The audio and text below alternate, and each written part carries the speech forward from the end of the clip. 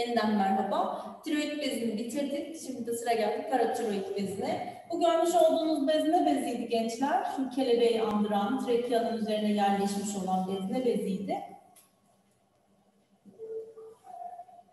Bu arada ufak tefek kopmalar oluyor. Lütfen ders bitti zannedip ayrılmayın. Biraz bekleyin. Sonuçta teknoloji e, ister istemez sorunlar yaşanabiliyor insana. Şu bezin ismi neydi gençler? Az önce öğrendiğimiz bez.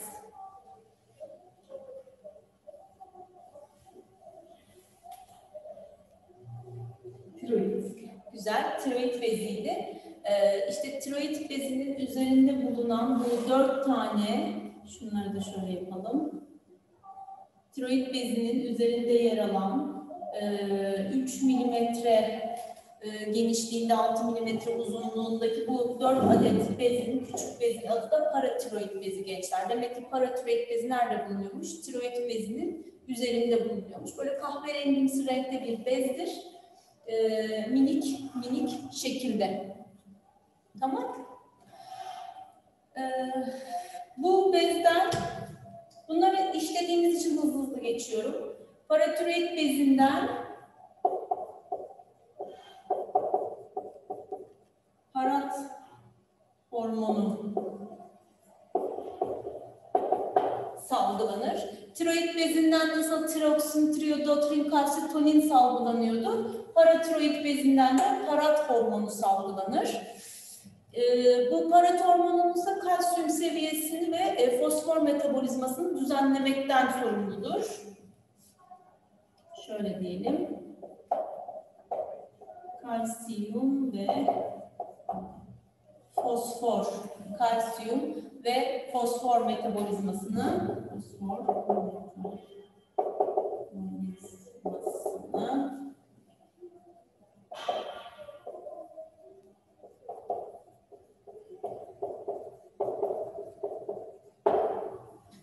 e, kalsiyum ve fosfor metabolizmasını düzenlemekten sorumludur bu paratormon.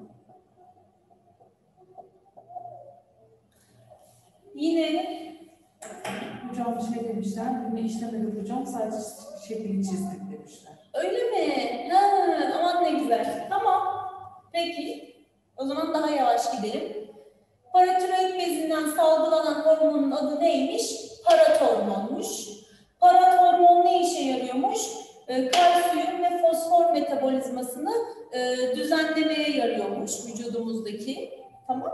Paratormon vücudumuzdaki fosfor ve e, kalsiyum metabolizmasını düzenlemeye yarıyormuş.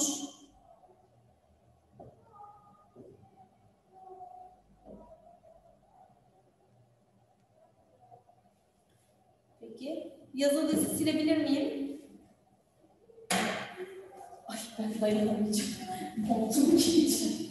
Ellerim soğuk. Yani bir anda üşüme geldi. Toparlayamadım vücudumu. Silebilir miyim? Tamam.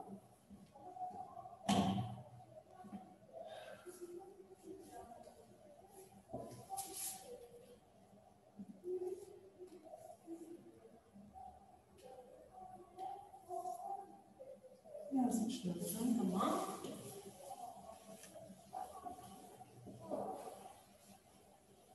Şimdi hormonumuzun adı neydi? Parat hormondu.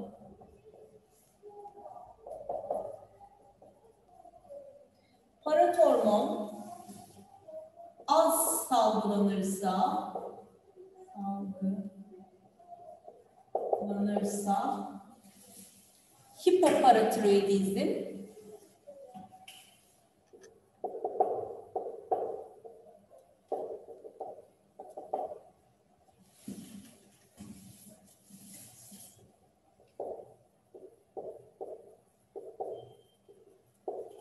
çok salgılanırsa hiper para tiroidizm olarak karşımıza çıkar.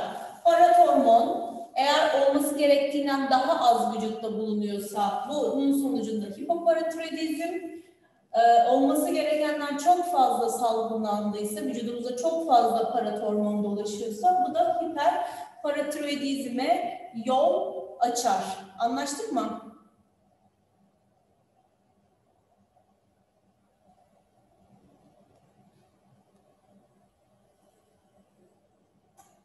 Bu paratormon az önce de söylemiştik. Kalsiyumdan kalsiyumun düzenlenmesinden sorumlu diye. Şimdi kalsitonin eee, şöyle yazayım.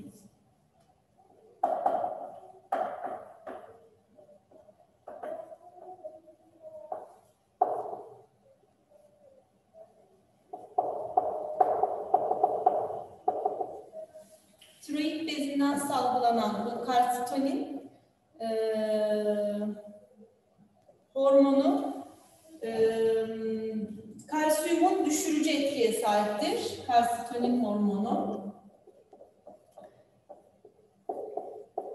Kalsiyumu Bunları yazmayın, dinleyin.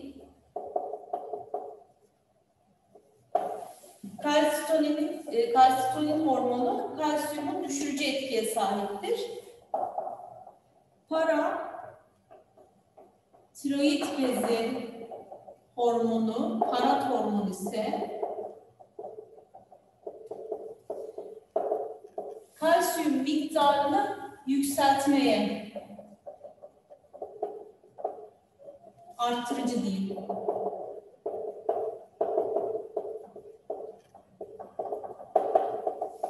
Tamam mı? Tiroid bezinden salgılanan e, kalsitonin hormonu kandaki kalsiyum miktarını düşürücü etki yaparken paratiroid bezinden salgılanan parat hormon ise kalsiyum miktarını e, kalsiyum miktarını arttırıcı etkiye sahiptir. Yani bu iki hormon birbirine zıt çalışır. Biri fazla salgılandığında, kalsiyumu fazla ortaya çıktığında kanda, o zaman hemen kalsitonin devreye girerek kalsiyumun emilimini azaltır. Ee, bu azaldığında ise parat hormon devreye girerek e, etkisini arttırmaya çalışır. Fakat şöyle bir şey söz konusu, parat hormon e, yeterince salgılanmazsa kandaki kalsiyum seviyeleri düşeceği için buna bağlı vücutta bir takım kasılmalar, e, özellikle kaslar, el ve yüz kaslarında e, bir takım kasılmalar ortaya çıkar. Bu kasılmalara biz tetonik diyoruz, tamam mı? Tetonik kasılma demek. Tetonik. Parat hormon az salgılanırsa, düzgünce yazalım. Peki. Şurası okunuyor mu? Ya da şunu anladınız mı? Silebilir miyim? Bura anlaşıldıysa silebilir miyim şu kısım? Demek ki en alt kısma kadar gözüküyor zaten herhangi bir problem yok. ha, yazabilir miyim yani? Yazabilirsin. Tamam, peki.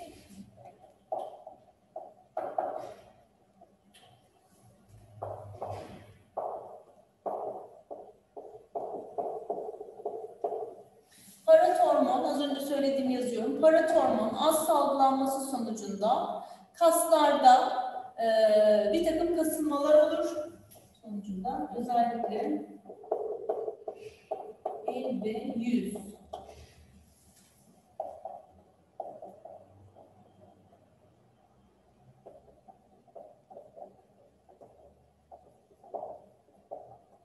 Tetoni.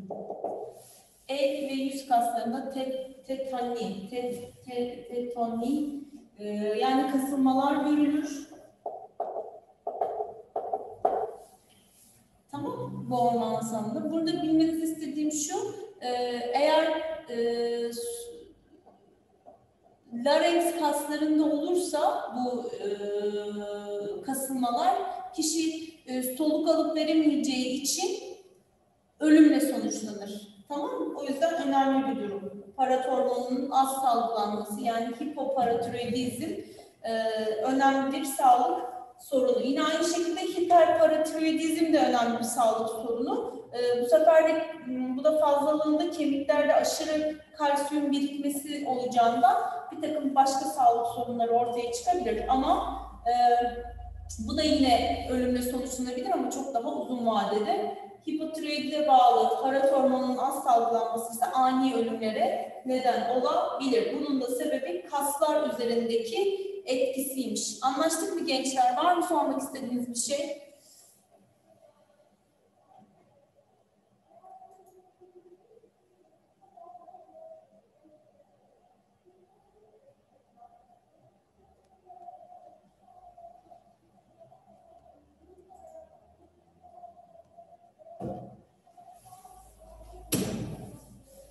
Toparlayalım.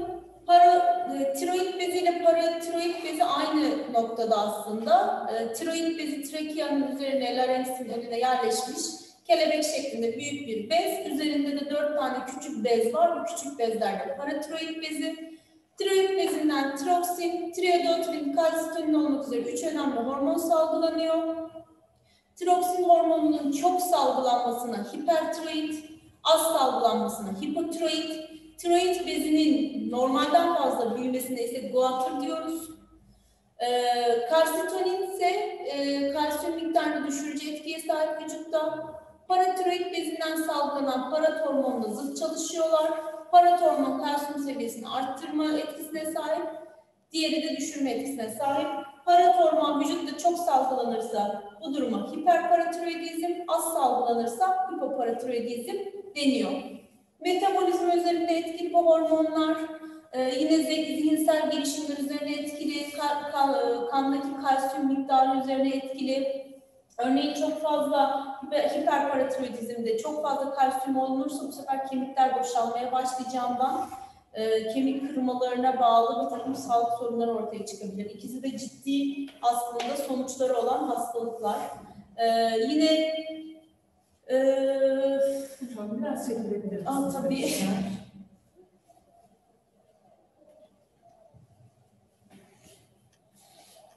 Yine vücut ısısının ayarlanmasından sorumlu hormonlar, tiroid mezohormonları. Bunlar bilinmesi gereken hormonlar.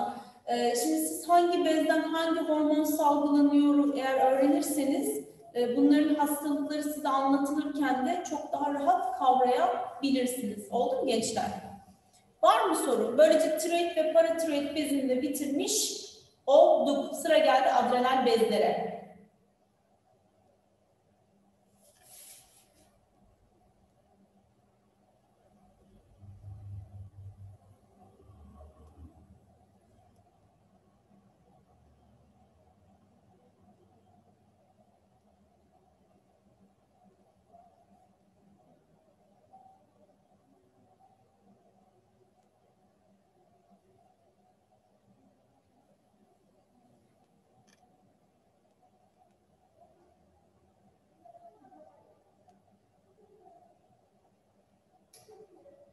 Devam ediyorum. Adrenal bezler, yeni bezimiz.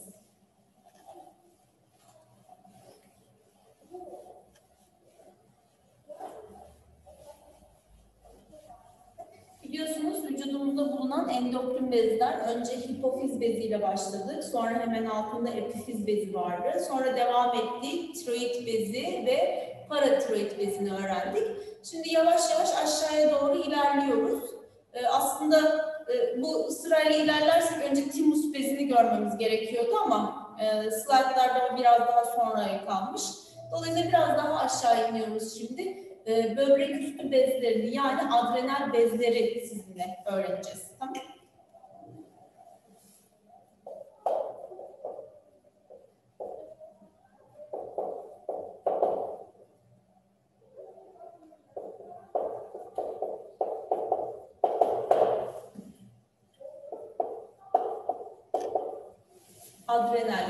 böbrek üstü bezleri. Hemen maketimize şöyle geliyoruz.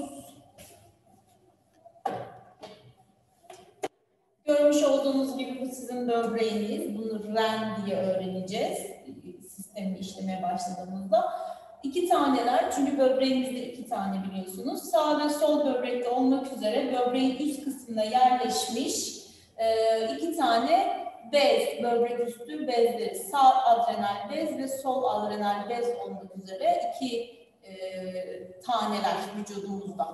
Ve yine bu böbrek üstü bezlerinin Ee, en dış kısmına korteks yani kabuk demektir biliyorsunuz. Kabuk kısmına korteks dışta kalan, içte kalan kısımdaysa medulla diyeceğiz. Tamam? Başlık atıldı mı?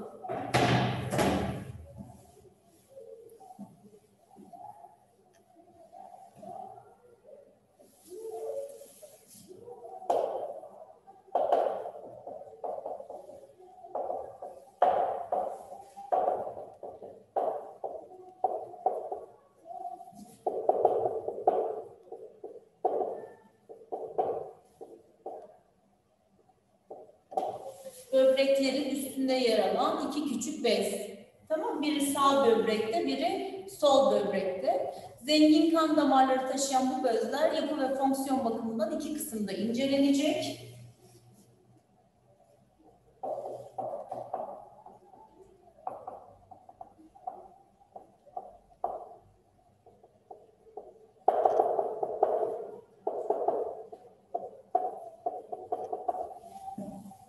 Yapı ve fonksiyon bakımından iki kısma ayrılır ya da iki kısımda incelenir. Bunlardan bir tanesi öz bölge dediğimiz adrenal medulla yani iç kısım.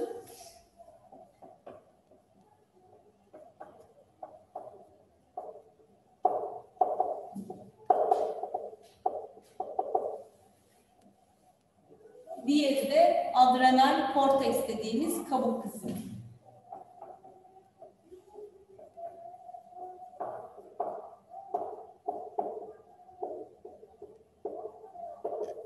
Bu içi adrenal medulla dediğimiz kısım bezin iç kısmı. Adrenal korteks dediğimiz kısım ise bezin dışındaki kalan kabuk kısmı. Yazalım lütfen.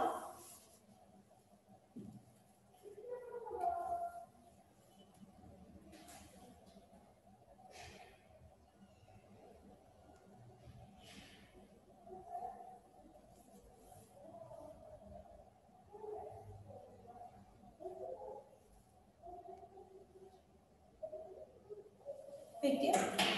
Şimdi adrenal medulla yani öz bölgesinin iç kısmından iki tane önemli hormon salgılanıyor. Bu hormonlardan bir tanesi adrenalin, diğeri de noradrenalin.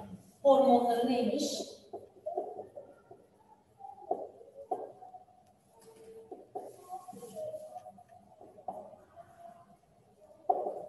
Adrenalin. Bu hormonu epinefrin olarak da göreceksiniz.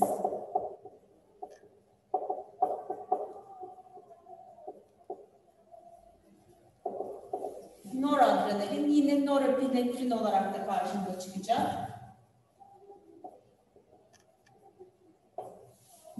Ne yazdığımı okuyamadınız. Norepinefrin. Epinefrin, norepinefrin. Adrenalin, noradrenalin. Tamam. İki tane hormonu varmış. Adrenalin ve noradrenalin. Nereden salınıyormuş bu hormonlar? Böbrek üstü bezlerinin öz yani iç kısımlarından salgılanıyormuş. Ne işe yarıyormuş? Onu da söyleyelim.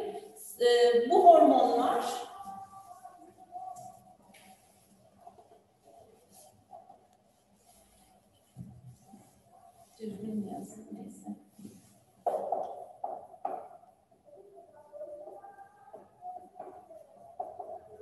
Bu hormonlar korku, heyecan, hiddet, efendim hocam. Hocam adrenal medulla dediğiniz yerin sonrasında kalan yer parantez içinde sonrasını merak Öz bölgesi, içi yani, öz bölgesi. Öz bölgesi. Şey okuyamadığınız için merak ediyorsunuz yoksa şey mi, şekli mi görmek istiyorsunuz? Yok yok okuyamadılar. Ha, tamam. Adrenal medulla yani öz bölgesi, iç kısmı yani böbrek üstü bezlerinin içinde kalan kısım. Buradan iki tane önemli hormon salgılanıyor. Adrenalin ve noradrenalin bu hormonlar. Peki bu hormonlar ne işe yarıyor? Ee, korku, hiddet, e, heyecan, stres durumlarında hiddet. Stres.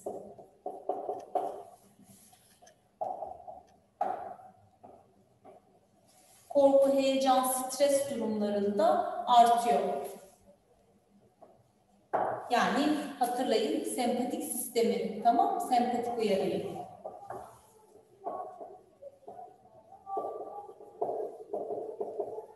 Sempatik sistem neydi? Savaş, kaç e, dürtüsüyle hareket ettiriyordu değil mi? Adrenalin salgılıyordu hani vücut böyle. E, damarlarımız daralıyordu, kalp atımızımız hızlanıyordu. E, kalp çarpmamız hızlanıyordu, göz bebeklerimiz büyüyordu. Sinirim yavaşlıyordu sadece, solunumumuz hızlanıyordu. İşte bütün bunları yaptıran hormonlar nereden salgılanıyormuş? Böbrek üstü bezlerimizin öz bölgesi dediğimiz adrenal medulladan salgılanıyormuş. Anlaştık mı? Teşekkür etmişler. Ederim. Adrenalin ve noradrenalinin etkilerini kısaca bir daha hatırlayalım. Kitabınızda da var. O yüzden yazdırmayacağım. Zaten biz sempatik sistem devreye girdiğinde vücudumuzda ne olduğunu öğrenmiştik. İşte sempatik sistemin devreye girmesini sağlayan hormonlar ya da sempatik sistem devreye girdiğinde artan hormonlar adrenalin ve noradrenalin. Nereden salgılanıyormuş? Böbrek üstü bezlerinin öz bölgesinden salgılanıyormuş. Ne işe yarıyormuş bu hormonlar? Göz bebeklerimizin genişlemesini sağlıyormuş, kalp atım hızımızın artmasını sağlıyormuş, kan basıncımızın yükselmesine neden oluyormuş damarlar daraldığı için. Ee, solunumumuz hızlanıyormuş. Ee, onun dışında başka ne demiştik? Ha, bir tek sindirimimiz yavaşlıyordu, kabız oluyorduk hatırlarsanız. Sempatik sistem devreye girdiğinde. Demek ki bu işi yapan hormonlar bizi savaş, kaç mücadelesine hazırlayan, e, korku anında, e, stres anında, heyecan anında e, vücudu dinç tutan, ayakta kalmasını sağlayan şey adrenalin ve noradrenalinmiş, sempatik uyarı sistemiymiş. Bunun içinde böbrek üstü bezlerinin iç kısmı olan medulladan salgılandığını öğreniyoruz.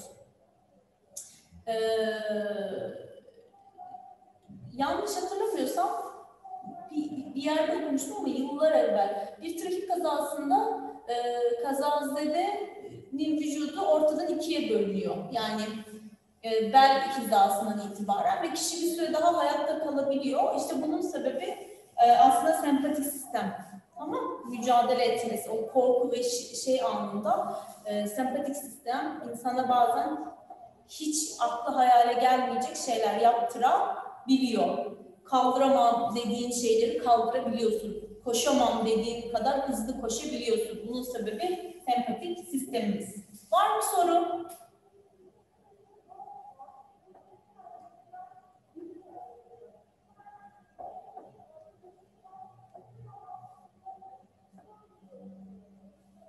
Ve yazdınız mı? Onu da sorayım. Ona göre Hayır demişler.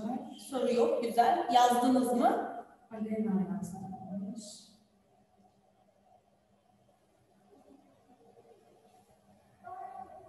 Peki o zaman siliyorum. Şuradan. Üç dakikamız kaldı hocam. Ya o zaman o zaman yarın devam edelim. Çünkü korteks bölümüne başlayacağız. Ee, biliyorsunuz ikiye ayırdık ya medullanın iç kısmı öz bölgesi, ee, bir de kabuk kısmı, dış kısmı diye. Şimdi iç kısmını öğrendik. İç kısmından iki önemli hormon salgılandığını öğrendik. Adrenalin ve noradrenalin. Ee, Bunların da sempatik uyarının devreye girmesiyle arttığını hmm, öğrendik, ne işe yaradığını öğrendik. Yarınki dersimde de korteks bölümü yani o e, şurada da gördüğünüz gibi dışında kalan kabuk kısmının ne işe yaradığını öğreneceğiz. Tamam. Kendinize iyi bakın. Lütfen yarın derste olun. E, ihmalkarlık yapmayın. Bugünlük bu kadar. Yeter o zaman. Yarın görüşmek üzere.